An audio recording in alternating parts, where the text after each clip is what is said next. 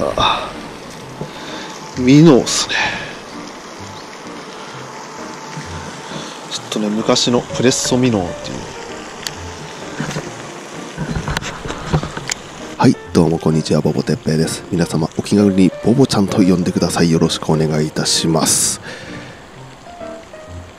前回ですね 0.7g のスプーンでボトムバンピングで釣ったんですけども今回はですね 2.1g のスリムクランクということで結構前にね登場した向井つぶあんというルアーなんですけども、まあ、それをね使う前にねこんな感じで未納で迷走しております。でずっとですね手元に来るようなバイトがなかなか得られなくてですねかなり迷走しました。で開始時間はですね前回の 0.7g のスプーンがですねほんと10時半とかなんですよ。そこからですね。連続トゥイッチないのかな？ずーっとショートバイト地獄でなかなか魚がかからなくて。いやー全然反応しないね。もう終了2時間前とか。で当日はね6時間券あ違う5時間券か。5時間ですねやらせていただきまして。ですので2時間半ぐらい、えーショートバイト地獄でですねなかなかコツをつかめずに、えー迷走してしまいました。でこんな感じですね。ちっちゃいミノーでも釣れないかなと思ったんですけどもやっぱりね激しいトゥイッチのようなアクションでもですねチュンチュンみたいな移動が激しいアクションではですねなかなかスイッチも入ってくれなくてバイトもしてくれなくてですねただ巻きでたまにポツポツとバイトは得るぐらいでした。そしてですねなんやかんや僕のですね左前ぐらいにちょっとした大岩があるんですけどそこのねよれにやっぱり魚がすごく溜まってるのでダメっすかね。えーいつものパターンなんですけどもそこに粒あんをですね遠投してスローリトリーブという普通のただ巻きのいいのかなやっぱりそこに行き着きました。まあ当たるっちゃ当たるんですよね。だけどその食うまで行くかっていうとそうでもないんですよ。さあスリムクランクですね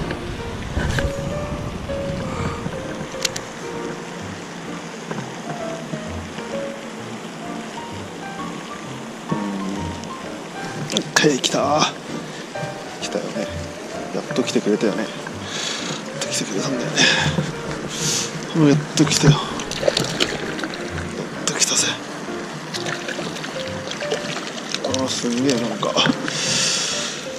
やっとスリムクランクできました。長かったなこれ。うん。しかもちょっとパッと見怪我してるんじゃない？みたいな。ね。おお分かった分かった分かった。ああちゃんと食ってくれてるけど。ちょっとねけ背中に怪我しちゃってるやつだけどスリムクランクでやっと来ました。ちょっとねスリムクランクであと23匹釣ってスリムクランク編を作りたいと思います。さあスリムクランクにしてやっと来てくれましたね。なんだっけな。結構深く潜るやつですね。ザンム DR 深く潜らせた方がいいのかもしれないですね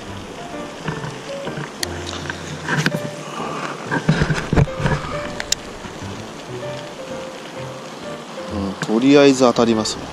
あボトムな。のかな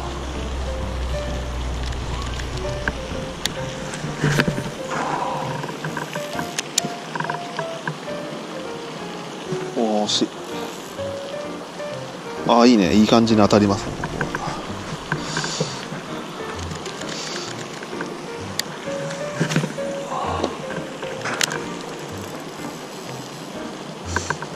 やっぱ夕方だね。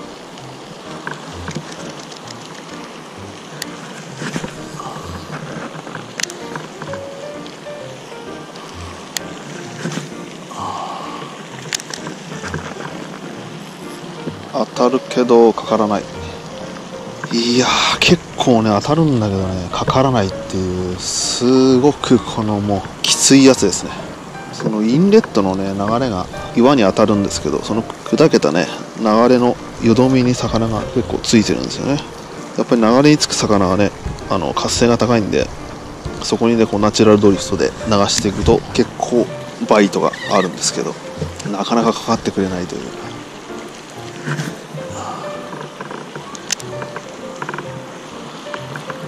多分もう相当擦れてんだよね魚がね。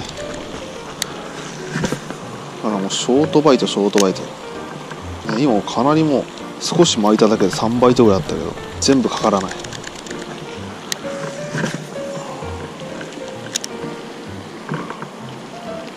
で今もゴンってねいい感じのバイトがあったけど。さあちょっとねルアーを変えなくちゃいけないんでしょうねこれはね。さらにクリアカラーで。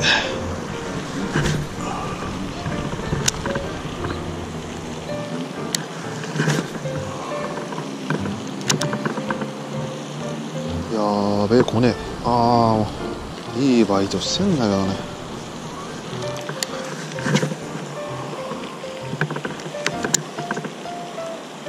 もっとスローじゃなくちゃいけない。な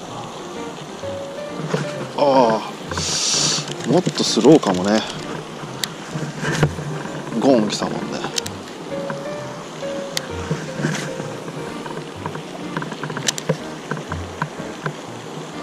よし。いやいい感じにゴンゴン来てくれるんだけどね。かかかるまでいかない。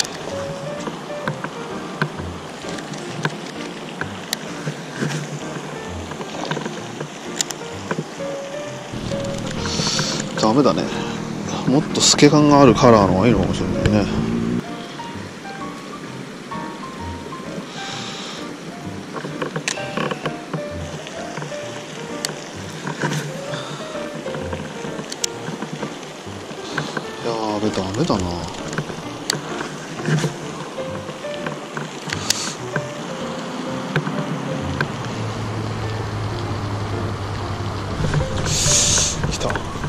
来た来た？来た来た来た来たやってきた。あっと来たよ。よいしょ。よいしょやっと釣れました。いやー結構痩せちゃってるねこいつね。今のはねティップ見てたらねちょっと変化があったんでそれで合わせたら来ましたね。やっぱりそこまでしないと食わないのかな。ちょっと勉強になりました。ありがとうございます。さあ今のはねこうずっとねルアーって巻いてるとプルプルプルってこう動くじゃないですか、えーロットティップが。そのねプルプルプルって動いてるロットティップが、えーおかしなね動きをした時に合わせた感じですね。今もプンってね来た時ちょっとねおおそういうこと。そうああ外れた。そういうことか。なんとなく なんとなくコツが分かってきたかもしれない。オッケーそういうことですね。